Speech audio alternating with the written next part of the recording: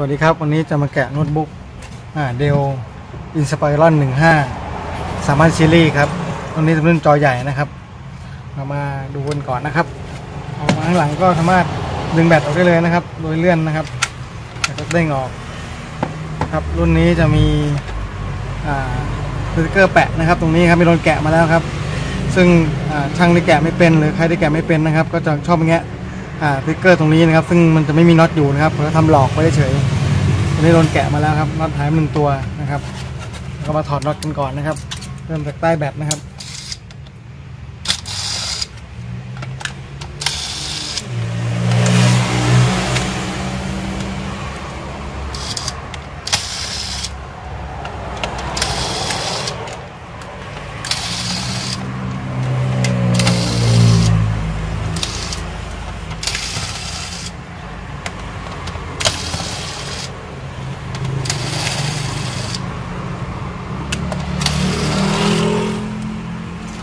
งั้นตัว DVD นะครับ เราก็สามารถเลื่อนออกก่อนได้นะครับโดยการนะครับจะมีเรื่องเล็กตรงนี้ครับ สามารถจับดันได้เลยครับสรุปง่ายๆนะครับตัวนี้จะน็อตซ่อนอยู่ 3 ตัวนะครับ รุ่นนี้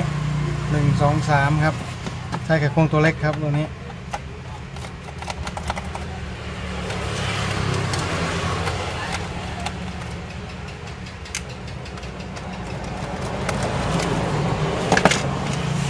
มื่อด้านหลังหมดแล้วนะครับทำการ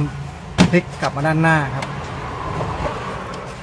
มาดูตรงคีย์บอร์ดนะครับ คีย์บอร์ดจะมีเขี้ยวเพื่อที่จะดึงออกนะครับ ดันเข้าไปนะครับงัดขึ้น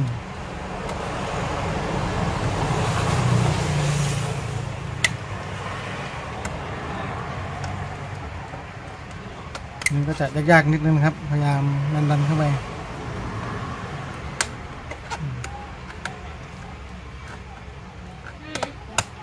ต้องจับมุมมันสักมุมนะครับค่อยๆงัดขึ้น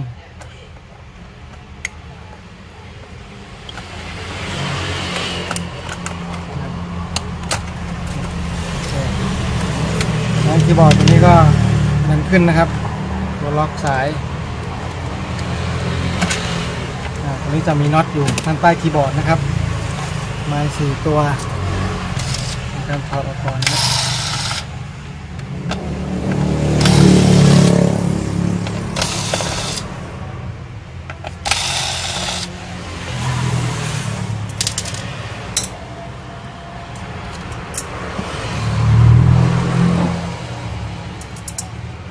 นั้นก็ทำการถอดสายแพรนะครับ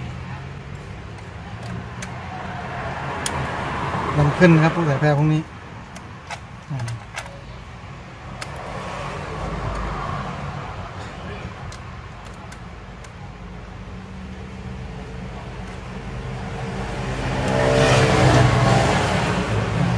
เสร็จแล้วก็จากนั้นก็ทำการ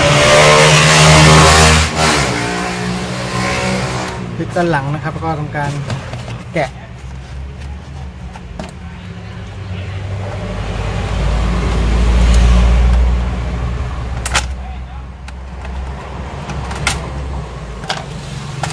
ติดเงี้ยสักนิดนึงครับค่อยๆยกอ่า